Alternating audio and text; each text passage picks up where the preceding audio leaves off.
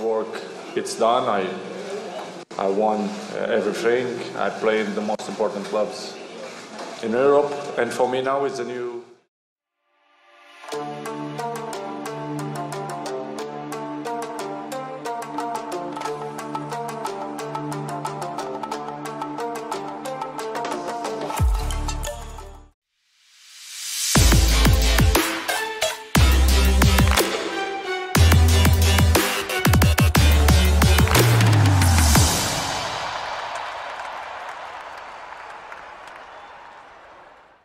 Ronaldo dukung penuh keputusan Indonesia menolak kehadiran negara Israel.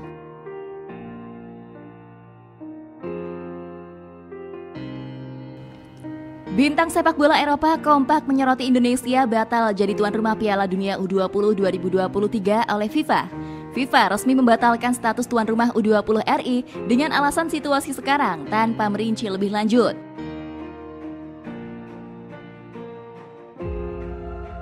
Disinyalir pencabutan itu tidak lain disebabkan oleh Indonesia yang dianggap tidak bisa memberikan keamanan kepada Israel sebagai salah satu peserta. Keikutsertaan Israel dalam ajang itu memang mendapatkan pertentangan dari berbagai pihak, mulai dari kepala daerah politikus partai politik hingga organisasi masyarakat.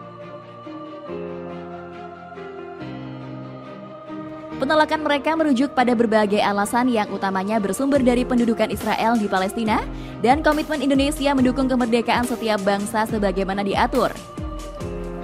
Mereka juga menyoroti FIFA yang menunjuk Argentina sebagai pengganti tuan rumah Piala Dunia U20 2023. Salah satu yang menjadi sorotan Gubernur Bali Wayan Koster menolak keikutsertaan Israel di Piala Dunia U20 Cristiano Ronaldo pun turut kecewa lantaran dicoretnya status tuan rumah RI oleh FIFA.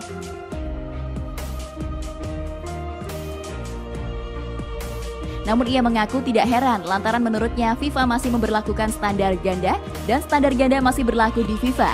Tidak mengherankan, adapun dengan keputusan FIFA mencabut status Indonesia sebagai tuan rumah Piala Dunia U20 2023, maka timnas Indonesia U20 gagal tampil namun, kesempatan masih bisa jikalau Israel mendapatkan sanksi berat oleh FIFA.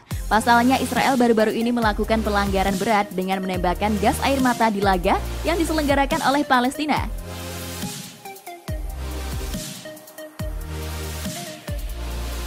Jika Israel dijatuhi sanksi oleh FIFA, Indonesia akan menggantikan posisi Israel di ajang Piala Dunia U20 nantinya.